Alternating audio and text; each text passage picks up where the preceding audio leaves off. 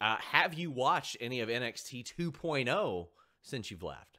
Uh, I watch bits and pieces. Uh, I try to support like my friends like Duke Hudson, Sure. uh, Indi Hartwell, Persia Pirotta, Grayson, like all the Australians. I always support those guys, and I still have other friends, obviously, that I made there that I always watch.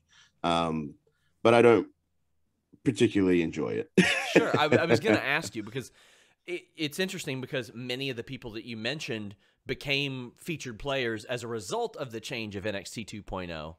Uh, but Yes. I'm interested in your thoughts on, on the presentation overall as, as how it is. It, it does seem very character oriented to some Yes. degrees, and then others, it's like you, you see the traditional turned up to 10 type of personalities. But but what are some things maybe you do or don't like about it?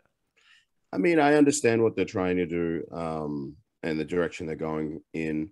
I think the thing I, I like least about it is Hunter had such a vision for what NXT was, and that whole vision is just gone now. Especially after last night, with with what seems to be I I don't know. I'm not there at the moment, but it Mhm. seems to be the end of Black and Gold. Like that's that's it. Um, it, it it's just disheartening because we were so the guys that were there for that era we're so much trying to make it that third brand and make it something different. But not just that. I, when when I was there wrestling, I'm a huge pro wrestling fan, and I love WWE. I love what they do. But I saw Raw and SmackDown as their entertainment shows, and I saw NXT as the pro wrestling show. And now I feel like it's just another entertainment show. That makes sense. And Yeah, I mean, obviously, and very unfortunately, Triple H has been out of the picture for a little while. We yeah. we wish him the best there. Have you had the opportunity to speak with him at all? I know that he was he was very private for a while. Yeah, no, I, I haven't been able to yet. Uh, hopefully, I'll get to. I hope, yeah, you know that he's doing well. Um, I've been able to. Obviously, I spoke with Shawn right after I got released, and yeah, I hope that I can speak to Hunter at some point. What was your conversation with uh, Shawn like? Because there are some people like Alex Zayne told me that he reached out to William Regal immediately, and William Regal was blindsided by it. He had no idea. Uh, Yeah. What was your conversation with Shawn like?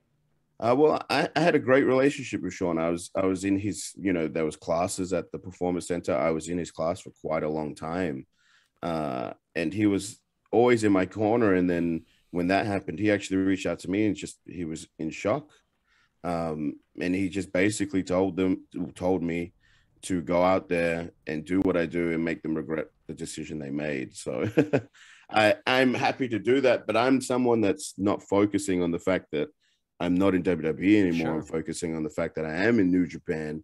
I am doing things with Impact and I'm going to do great things there. And that's where my focus all is.